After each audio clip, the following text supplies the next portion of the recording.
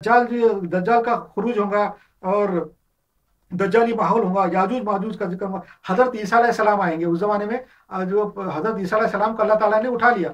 जो जो क्रिश्चियन जो ये लोग, जो बोलते कि हज़रत ईसा सलाम को स्लेब हो गई और वो उनको स्लेब पे कत्ल कर दिया। स्लेब पे कत्ल करने का जो है खाली एक दिखावा था, एक इल्यूजन था। हज़रत ईसा सलाम को अल्लाह ताला ने ज़िंदा ऊपर उठा लिया आसमान पे। वो ज़िंदा है और क्यामत के खरीब के ज़माने में जब दज्जाल का जहूर होगा और दज्जाल पूरी दुनिया में फितने फिसाद फैलाएँगा, लोगों को बहकाएँगा, उस टाइम पे हज़रत ईसा दुनिया में आएँगे और हज़रत ईसा की वजह से, उनकी हैबत से दज्जाल ऐसा पिघल जाएँगे जैसा मोम पिघल जाता। मोमबत्ती जो पैरा, पैराफिन वैक्स की जो मोमबत्ती रहती, कैसे पिघल जाती? वैसा पिघल जाएँगे, खत्म हो जाएगा इसराइल के अंदर। इसराइल के अंदर लुद बोल की एक जगह है लूद के पास पास जाके खत्म हो जाएगा। लूद एक एयरपोर्ट है। इसराइल के अंदर बहुत बड़ा एयरपोर्ट है। अमेरिका जाने के वास्ते यहूदियों ने बनाया हुआ है फलस्तीन में। तो वहाँ से वो, उसके बाद भागेगा सीधा वो, हज़रत ईसा देख के लूद में भागेगा। जहाज़, हवाई जहाज़ में बैठ के अमेरिका जाने के वास्ते। मगर वहाँ लूद में ये खत्म हो जाएगा, पिघल जाएगा वो देख के। तो ये भी एक है, हज़रत ईसा का ज़िक्र है। यहूदियों की यरूशलेम की वापसी, यहूदी लोग जो है ना, वापस नहीं आएँगे। उस कुरान शरीफ में आए थे,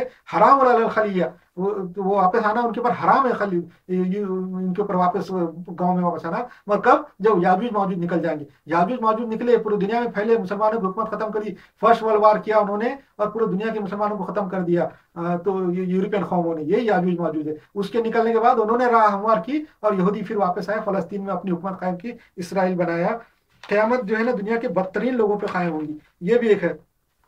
क़यामत के आसार के बारे में मैं इतनी हदीसें हैं, इतनी ज़्यादा हदीसें हैं कि मैं खाली थोड़ा ऊपर ऊपर ज़िक्र कर दे रहा हूँ, कोई हदीस का रेफरेंस इसलिए नहीं दे रहा कि आपको नेट के ऊपर और बाकी किताबों में ये मैं असल में इस्लामी जो क्रैश कोर्स जो शुरू किया और ये बातें बता रहा हूँ, ये सिर्फ़ आपके अंदर एक जज्बा पैदा करने के लिए है क्या ताकि आप इस्लाम को सीखे, आप में ख्वाहिश पैदा करने के लिए। एक बार ये मेरी बातें और ये जो कोर्स पूरा मुकम्मल कर लेंगे आप सुनेंगे आपने एक जज्बा पैदा होगा, इल्म हासिल करने का ख्वाहिश पैदा होंगी और आप फिर इल्म हासिल करेंगे। इल्म हासिल करने के लिए मैं आपको किसी तरीके से नहीं रोक रहा हूँ। आप किसी भी किताब को पढ़िए, अच्छी किताब को पढ़िए, इंटरनेट के ऊपर पढ़िए, जो भी अच्छी बात पता देती है पढ़िए आप। ये जो दर्द सीखने के बाद, इस्लाम की सही, आपके अंदर स्पिरिट आने के बाद, आपको इस्लाम का और मुसलमानों का सही एम मालूम होने के बाद, आपको कोई चीज़ नहीं बहका सकती। आप इंटरनेट पे जाके पढ़िए यूट्यूब के ऊपर जाके पढ़िए, दूसरे लोगों की किताबें पढ़िए, आप सही रास्ते पर रहेंगे इंशाल्लाह। सही अगर आपके अंदर स्पिरिट आ जाएँगी, सही अल्लाह को पहचान लेंगे, सही हिदायत को पहचान लेंगे तो आपको कोई बहकाएँगे नहीं। इसलिए मेरी तरफ़ से इजाज़त है कि आप दीन का दिल हासिल करें और मेरा जो कोर्स में बताने के अंदर सिर्फ़ आपने एक जज्बा पैदा करना,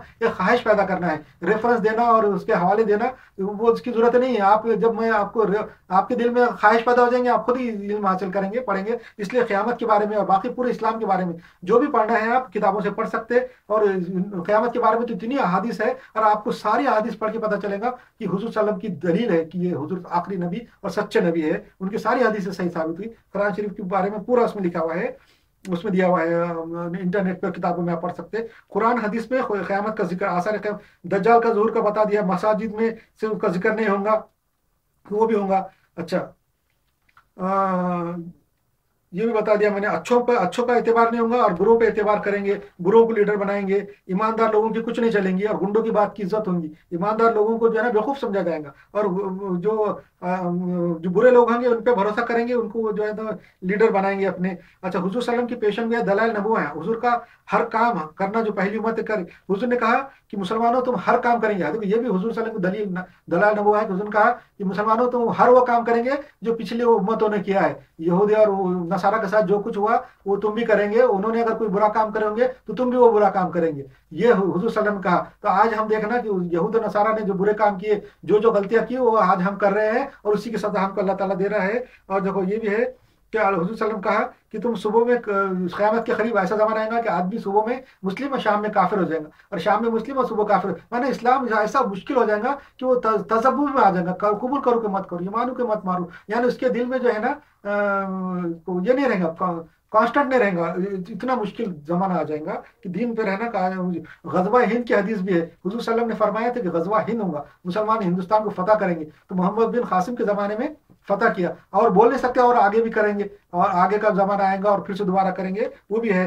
खसकंतनिया के फतह के बारे में हजूर सल्लम फरमाया था कि कॉन्स्टेंटिनपल जो है, अभी जो इस्तंबुल है तुर्की में, वो फतह करेंगे। वो भी मुसलमानों ने फतह किया, वो भी हजूर सल्लम की सही बात साबित हुई। और कासियात वाला आरियात का बताया मैंने कि जो लोग औरतें जो है, कम से कम कपड़े पहनेंगी, कपड़े पहन के भी नंगी रहेंगी। आज के ज़माने में देख लेना कि ये जो प्लाजो पैंट निकले हुए हैं, प्लाजो की जो पायजामे औरतें लड़कियाँ पहन रही है, वो स्कर्ट से भी ज़्यादा बुरे है। पहले तो स्कर्ट पहनती